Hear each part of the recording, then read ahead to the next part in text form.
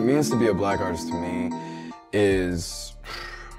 What does it mean to be a black artist? Um, I just feel like there's like no right answer to that question. There's always this need to put people into categories.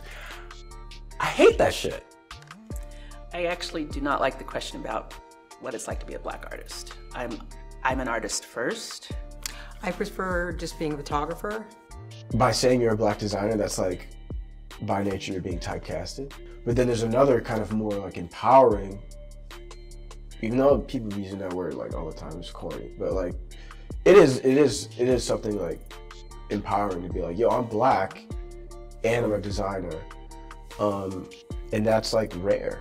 It's still straight. It's 2020 now. Like this shit is still rare. I'm definitely a black designer. I bring to everything that I do all that I am. I'm a black man. I am a black artist. Uh, I should have answered that.